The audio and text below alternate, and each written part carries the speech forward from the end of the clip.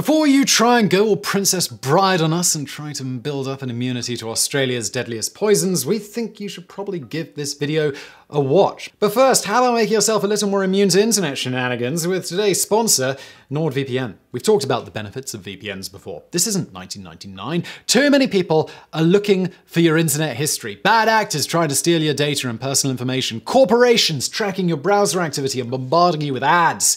No one needs any of that stuff. That's why NordVPN is so crucial. Look, a common misconception is that VPNs are for people who want to play defense, but they're not just for protecting yourself. You'd be amazed at the different streaming options you have when jumping over to a server from Asia, or the prices you'll find when shopping on a server from another location, or the trending news you'll find when you jump into Twitter a different place. Protect yourself or just play around. Buy it for yourself or consider it as a gift for another internet user in your life. With NordVPN, you have lots of options, and right now, you guys can take advantage of a special holiday deal that NordVPN is running. Any purchase of a two year plan, 68% off, and it comes with four additional months for free. What? And if you make a purchase and decide the VPN isn't for you, NordVPN offers a 30-day money-back guarantee. There's never been a better time to enhance your online experience with NordVPN, so head to nordvpn.com forward slash brainfood or use the code brainfood at checkout. Or there's a link in the description below. And let's get into it.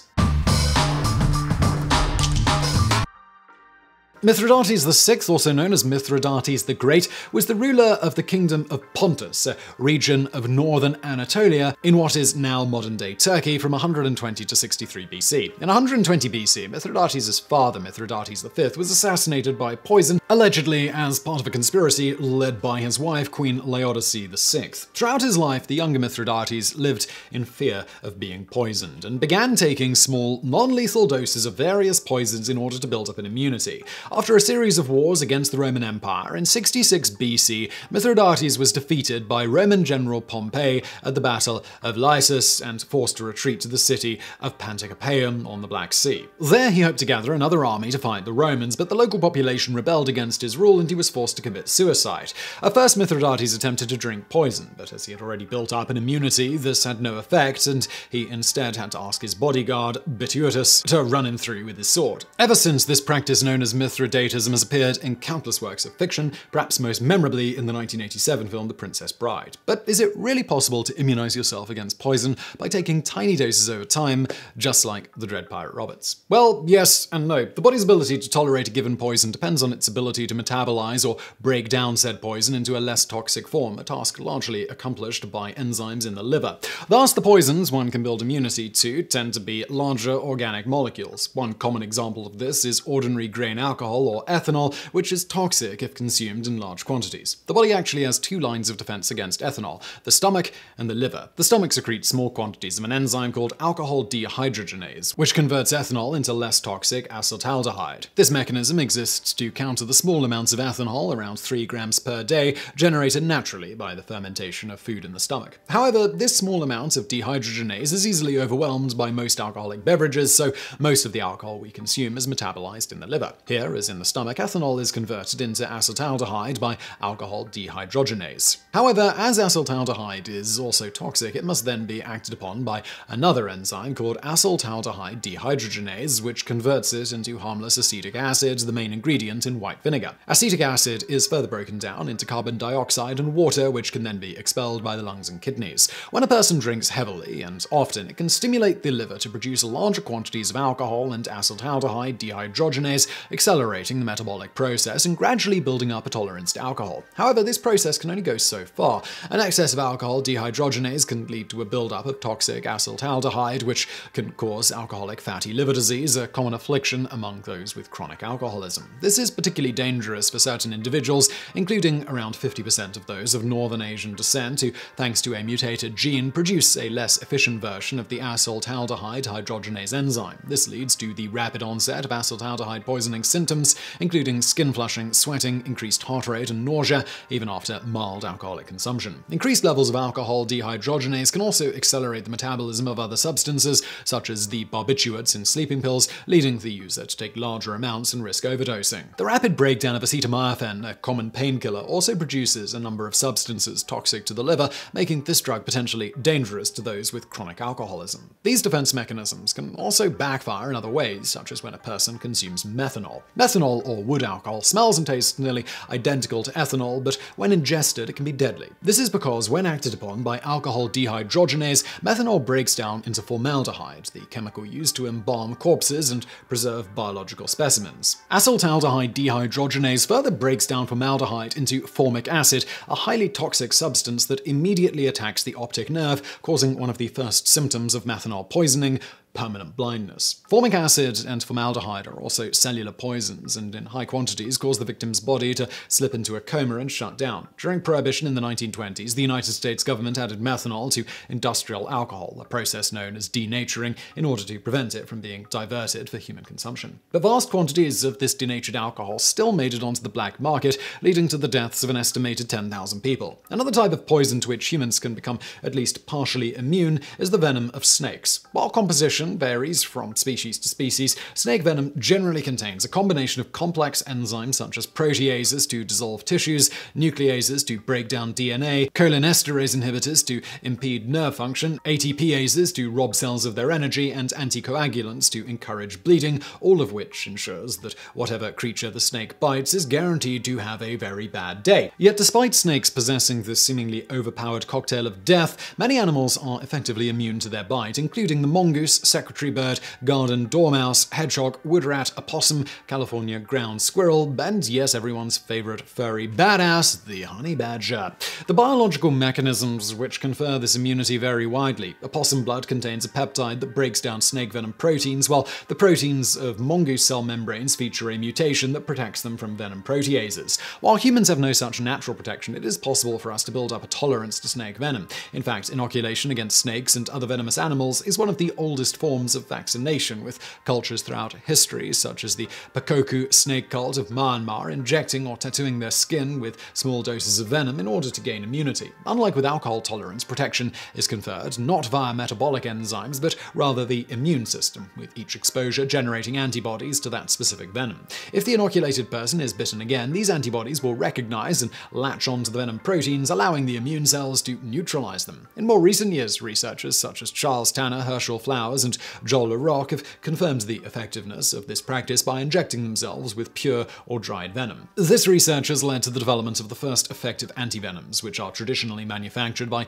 injecting horses with venom, collecting their blood, and purifying the resulting antibodies. However, there have been numerous incidents where the immune system of snakebite victims have rejected the horse proteins, leading a number of scientists to continue self-experimentation in order to make a safer antivenom. Among the most extreme of these is Tim Friede, a self-taught immunologist from Wisconsin who, over the last 17 years, has endured over 200 bites from some of the world's deadliest snakes. And the results speak for themselves. A bite from an African black mamba usually results in an agonizing death within 15 minutes. But for Friede, its effects are, according to him, no worse than a couple of bee stings. Working with Dr. Brian Hanley, a microbiologist at the University of California and founder of gene therapy startup Butterfly Sciences, Friede hopes that his blood will lead to the development of a universal antivenom for all old world snakes.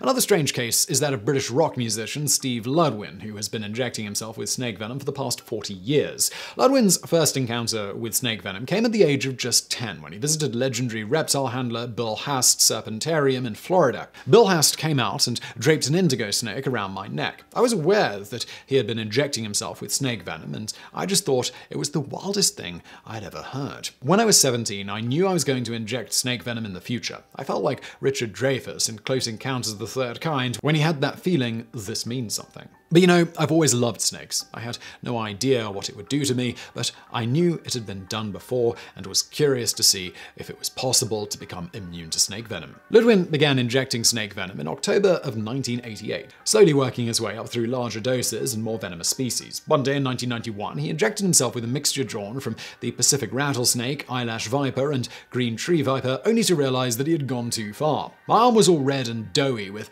a sack of liquid hanging from it, and I could see the blood blood vessels appear. It was like something out of Evil Dead. Ludwin finally decided to go to the hospital where the emergency room doctors who had never treated a snakebite before administered the common rattlesnake antivenom Crofab. But after spending three days in intensive care without improvement, Ludwin decided to discharge himself from hospital. Incredibly, despite the doctor's warnings that he would either die or lose his hand, within a week his arm had returned to normal. A recovery Ludwin attributes to his immunization regimen. Today, Ludwin frequently travels to Denmark to have his blood drawn by researchers from the University of Copenhagen and the biotech startup Venom AB. Like Tim Friede, Ludwin hopes that his unique antibodies will eventually lead to a universal antidote for snakebites, which, according to the World Health Organization, kill 125,000 people every single year. When it comes to simpler inorganic poisons, however, the prospective Mithridates is unfortunately out of luck. The majority of these poisons either can't be broken down by the body or break down into even more toxic substances. Heavy metals like lead, antimony, or cadmium are cumulative poisons, meaning that rather than being metabolized or flushed out of the body,